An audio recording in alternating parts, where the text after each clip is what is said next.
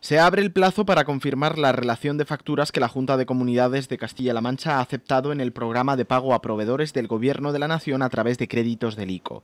Aquellos que no estén de acuerdo con la relación admitida de sus facturas o quienes no estén en la lista tienen ahora hasta el 22 de junio para plantear sus reclamaciones o confirmar sus facturas, en caso contrario. En total son 2.510 millones que podrían aumentar y que se materializan en 600.000 facturas de entre 2008 y 2011 para 74.000 proveedores entre ellos los farmacéuticos.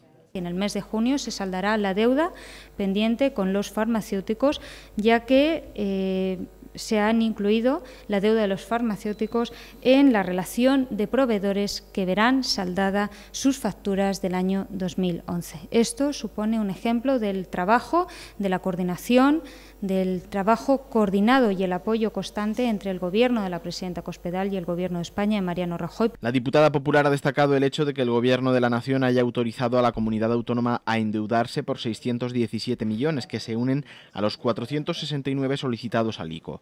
La suma de estas cifras permitirá, según Inmaculada López, reactivar la economía regional. Entre tanto, también los agricultores comenzarán a percibir los adelantos del pago único de la política agraria común, unos 55 millones de los 618 que corresponden a la región, más 75 millones y 30 del Ministerio para la reestructuración del viñedo.